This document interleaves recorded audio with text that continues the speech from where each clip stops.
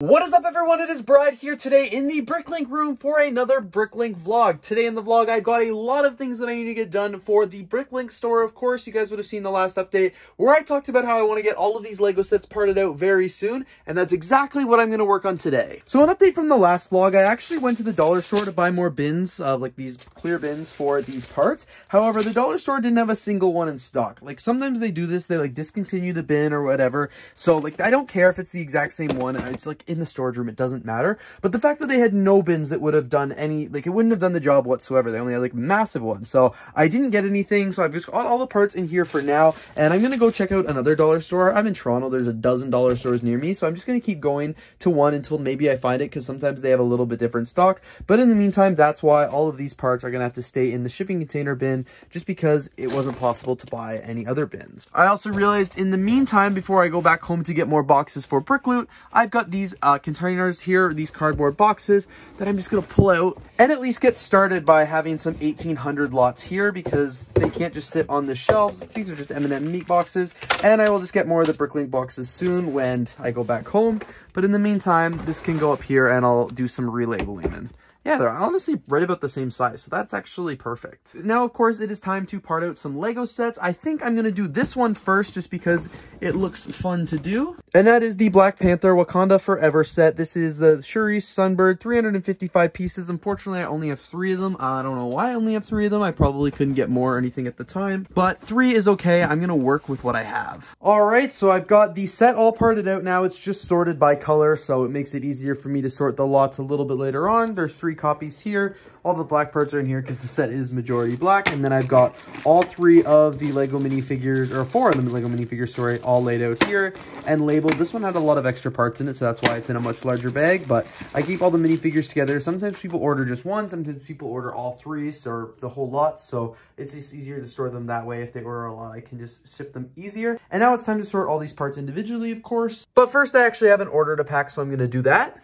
And it's perfect because I think I'm actually going to use this uh, this set here because I feel it's roughly the exact size that I need, maybe just a little bit too big. But yeah, that's perfect. I can easily cut it down a little bit because I don't think I have any other set boxes. Maybe this one will be a bit better, but I do try and reuse Lego set boxes while I can for shipping. Sweet, so I got the order all packed here, not got it in this nice DIY box. It's awesome, it's secure, it's full of bubble wrap. Now I just have to write on the label and bring this to the post office. Ideally, I will do it on my way to work tomorrow. However, sometimes I don't leave the house early enough to go to the post office, so I might have to do it on my lunch break. I went to a different dollar store like I said I would, and I managed to get six of the bins. They only had exactly six left. Three of them even have these weird colored lids. They're not just the transparent lids, but it's okay because I don't use the lids anyway. I just use the bottom of the bins, but luckily they had six left. And six is already pretty much the exact quantity that I was going for, so this is perfect. Now I'll be able to expand all the shelves down here. I'll put three more on the bottom, and then put the remaining three up here. I don't know if I actually need them yet, but it's good to have them. And yeah, you guys can see those are just the lids from all the other bins down there. They are not in use. And I'm just continuing parting out that set. I've actually added all the lots to my Bricklink store, so now I just have to go through and put them in the proper places. So of course to do that, I will need this bin right here where it's got all the baggies of small lots and all of the large lots. So I'm to start assembling these together now. I'll also probably grab these bins just to make my life a little bit easier. I'm out of the small sized bags for the large lot, so I'm going to start numbering a bunch of them now. You guys can see they're all down here. I remember when I first started this, I only had not even 200 of them, and now I'm up to 750, and I'm going to be making even more today. So it just goes to show that when you part out more sets, you need more large bags and stuff like that. But I'm not able to finish parting out the rest of the set until I build, or until I write on some more bags. Woo! And I'm up to lot 800 now of the large bags, which is pretty exciting. So good thing I bought all those bins the other day. All right, so it's a good thing I got all the bags done because I filled up a bunch of parts here. These are parts I already have in the inventory, so I just have to go add them in their respective bags. Same with the rest of these cups here. Uh, and a couple of these parts here. But the rest of these, all these parts are now ready to be added and put away into the actual inventory in the store, which for the most part, a lot of them will go in these bins here. I have to add four more of these bins for these the 1800s now because I just added those. I don't have any 1900s yet.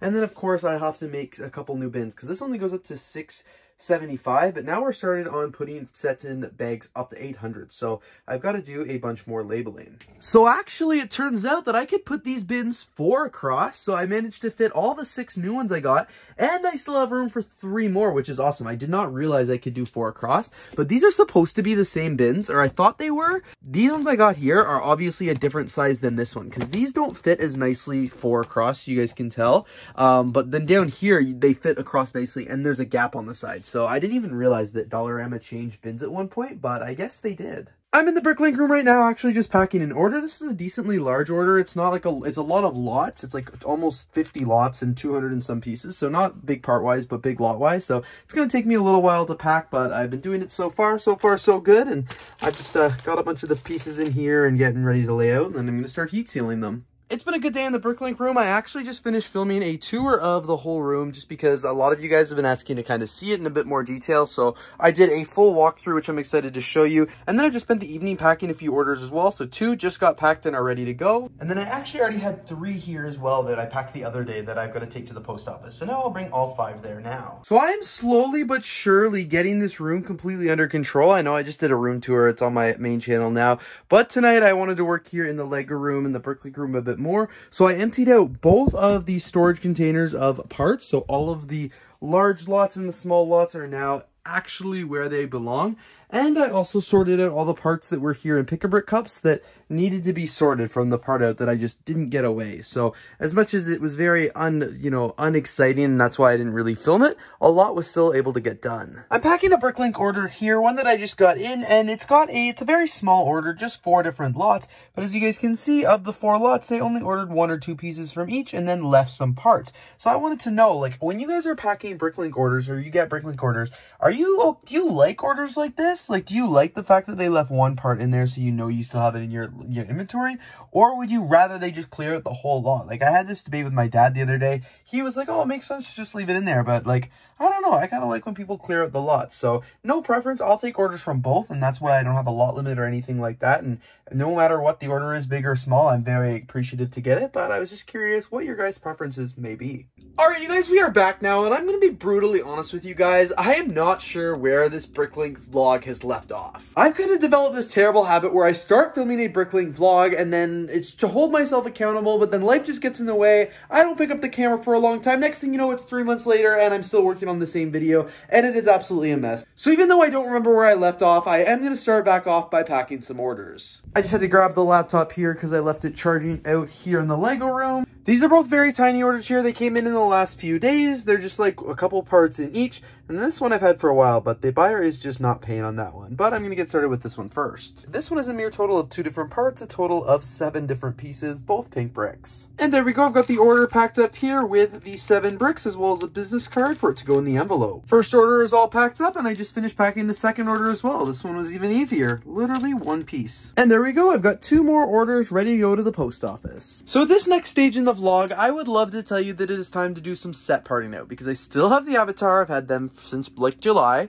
I've still got this, which I probably bought in quarter one or quarter two of last year, and then all of these. So I've got these sets that I need to part out, and I'm going to do that, but unfortunately not in this video. Realistically, I think this is probably going to be the end of the Bricklink vlogs here on the YouTube channel. Unfortunately, as much as I enjoy running the Bricklink store, it's just not a huge priority for me in terms of Lego and content creation. It's a great side income, it's a great side hustle, but I just don't have a lot of time to actually dedicate to running the store every single week. It is like upload sets when I can, part out sets when I can, and like pack orders when I can. Uh, pack orders more frequently, obviously. I want to be a good, good business. But like I just don't have the same amount of time to dedicate to Bricklink as I do the YouTube channel and stuff like that. And that could change in the future. Priorities always do shift. There has been times over the years since I opened that store that I've spent more time each week on the Bricklink store than I did the YouTube channel. And again, it might come to that again someday. But for now, I do want to focus on like my video content. So I'm not shutting down the Bricklink store or any means. I'm still going to part those sets out as I have to.